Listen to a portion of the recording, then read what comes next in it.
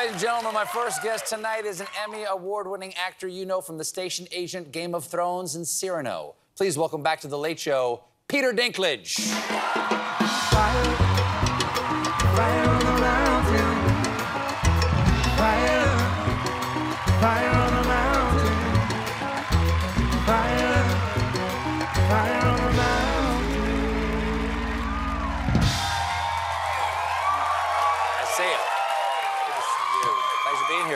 on. Yeah, there you go. People Right. love them some Dinklage. Yeah. America runs on Dinklage. America wants the Dinklage. We, uh, we haven't been able to have uh, such uh, glitterati as you on for a while because of the SAG strike. Yeah. So, so glad that's over. It was a great deal. But also, now, now Yeah. we can speak freely about your new film, The Hunger Games Ballad of Songbirds and Snakes. I'll bite. Are you a songbird or a snake?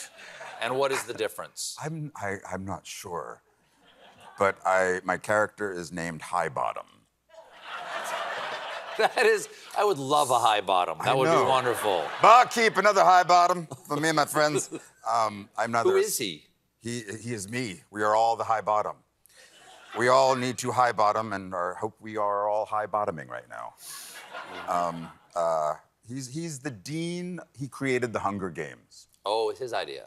Yes, his brainchild. Um, but what he created is quite awful. Um, all right, fans of the Hunger Games. They're high, they're high bottom fans. You guys are they high bottoming tonight. Um, so it's what we call in the trades a prequel.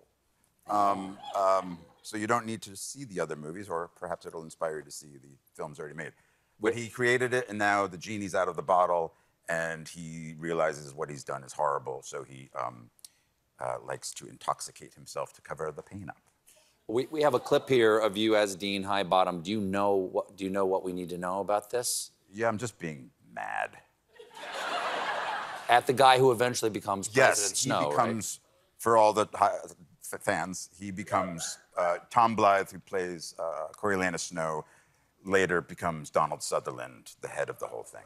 Wow. Uh, James, Proud, I see. Like your father.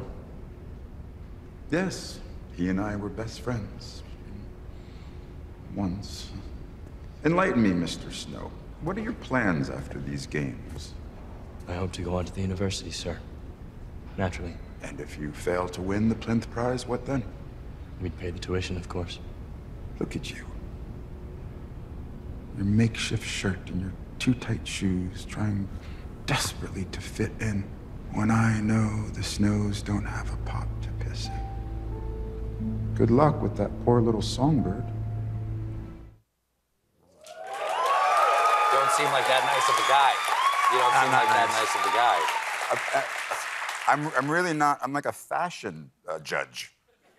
It's, that's, Because they still have the thing. Do they still do all that stuff like they do in the Hunger Games with all the fashion and stuff yeah, like that? yeah, they it's- do. It's, but it's like a, it's like a, um, a Cold War version of it, more of like a, yeah. We filmed in Berlin, which is beautiful, and uh, we. Used Oh, I've never the- been. Oh, it's beautiful. But we used a lot of the old architecture of the city, and because it's it's it's a fascist world, the Hunger Games. So Yes. Oh, you that would be know, um, strange to live someplace where people were interested in fascism. That would be so No, no, bizarre. fascist. What? Fasci- fashion and fascism, two different things. But fascists have great fashion sense. They the high do. boots, And the wide Just collars. never be fascist with your fashion. Yeah. Now, uh, I uh, Berlin. Little wordplay. Yes. Yes. Berlin seems like a, a fun town. What's to do in Berlin? Did you enjoy it? I did very much. Did you party? It's a party town. I used to party. I don't party much anymore. Um, What do you do now? Man, well, I, I, I, I found this park. I would go on my days off whenever all the young people were out, probably partying, and I would, um, uh, I, I trained this bird. You trained a bird. Yeah, well, a I think- wild bird. I, yes, I think he was pre-trained. Uh, are we talking a pigeon? No, Uh, an actual bird. it, it was like a, a, a German bird. Was- An eagle? What are we talking here? A duck? Give me a, was like give me a, range. He How was big? like a chickadee, but not a chickadee. That did not help at all. so, there's a bunch of young people in this film, right? Probably out in the audience too. Yes. So, but, and you're you're you're a little younger than I am. Yeah. You're a few years younger than I am. Ah. do, do you enjoy being around the young people? Because I don't care for it. we have a lot of young people who work here, and I go, please keep them out of my sight. Yeah. Well, they're just, um, they just have so much ahead of them. Yeah. Yeah. And they have energy. I know. Yeah. I, I'm reading this David Bowie uh, BBC collected interviews that he did. Um, God rest David Bowie, the God. But he, he, he said, he always said, which I take great comfort in, I, I'm not afraid of getting older with the wrinkles and everything, but I'm just, it's just sad to have less days ahead. And when you see young people, you're like, ah, you have so many days ahead of you. Right. And you're beautiful. You're just pretty.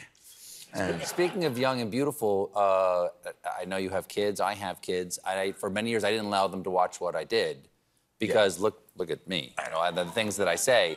But do you, do your kids like? Have they watched your stuff? Like, are they excited that you're in a Hunger Games, you know, franchise here? They, they like the young adult entertainment. No, I think it's weird when I change my facial hair. They're sort of judgmental about the, that, that type of thing. And then, but then because of the strike, my daughter turned to me the other day and she was like, "When are you going to leave again?